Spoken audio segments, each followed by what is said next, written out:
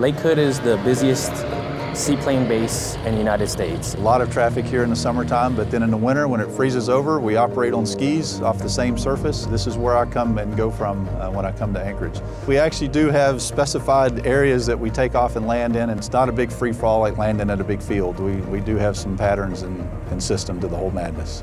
Our air traffic controllers are certainly world class and uh, do a great job of separating all this, this wide mix of traffic and keeping us all safe. It's different complexities. You have different type aircraft coming in and out constantly. Some of them have not talked to air traffic in an entire year. The complexity of working right next to two IFR facilities and trying to merge that traffic and get that traffic through IFR approaches, uh, that's, that's what makes it fun. Everything comes to you unique and every minute is completely different.